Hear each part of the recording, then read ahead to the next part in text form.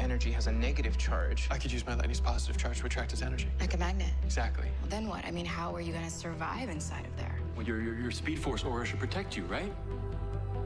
What if it doesn't? The gravimetric forces will crush you to a subatomic size within seconds. That's not gonna happen. The speed force is a billion times stronger than any gravimetric force. Even if you do survive the entry, we don't have a way of keeping Chester's mind intact on the way out. We need superconductive wiring from a quantum computer to do that, and last time I checked, those only exist in the future. Nora.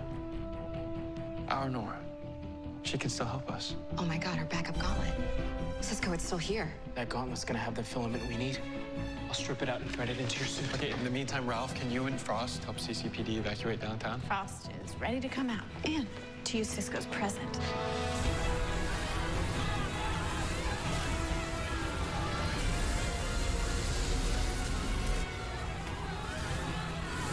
Captain, you shouldn't be out here. It's my city too. Help these people get out of here. Yes, sir.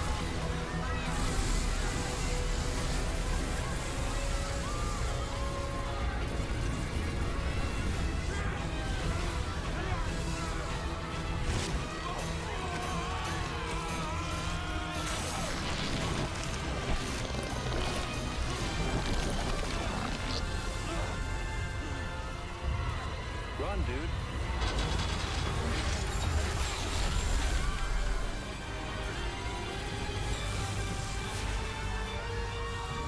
You're welcome. Suit's finished. Okay, great. So when Barry gets Chester's consciousness out of there, what is he supposed to do with that energy? You remember the Mac? Yeah, but it's not working. No, but the structural integrity is strong enough to contain synaptic energy. Besides, we already moved Chester into it, so. I'm sorry, what? We moved Chester? That's right. I may be small, but I can bench my body weight.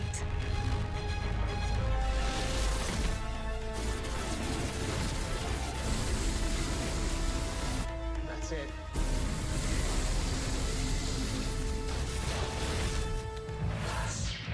Saving this for the right moment since day one. Really, Cisco? The guy's running in and out of a black hole.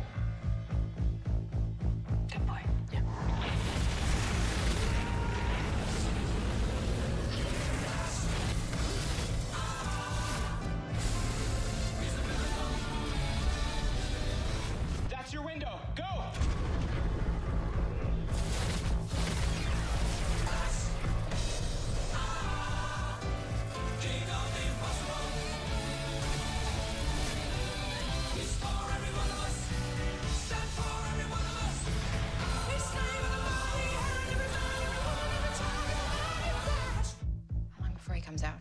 Seconds. I think. You think? I think. Barry? Barry,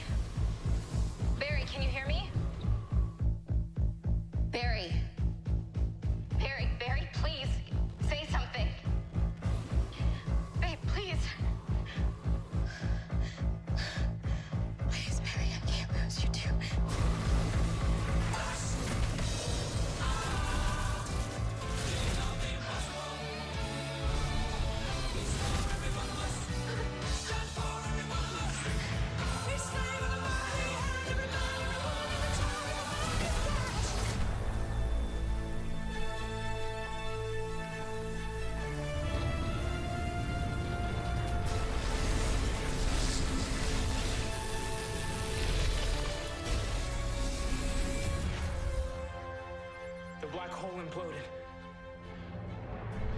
Chester. Can you hear me? Come back here. To us. To this body. To yourself.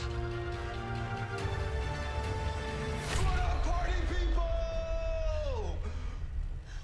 Hey, hey, you're the Flash. With the speeding around and the lightning and all that. Hey, big fan, man, big fan. also, where am I?